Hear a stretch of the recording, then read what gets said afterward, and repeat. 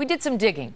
And it turns out that Republicans had foreseen that an HHS regulation, Health and Human Services, passed in the summer of 2010, right after the law was passed, that a change in that regulation would guarantee, basically, that all of these people were going to start losing their insurance when the law kicked in, just as they are, and we all know it right now. In fact, the Republicans warned about this back in 2010. They actually read the Federal Register, unlike regular people. And they went to the Senate and they said, let's pass a law. We've written one that will protect people and stop this from happening. Here's Senator Mike Enzi. The reality of this new regulation is that if you like what you have, you can't keep it. That's why I'm so concerned about this grandfathered health plan regulation, and that's why I introduced the, regula- the, the resolution that we're debating today.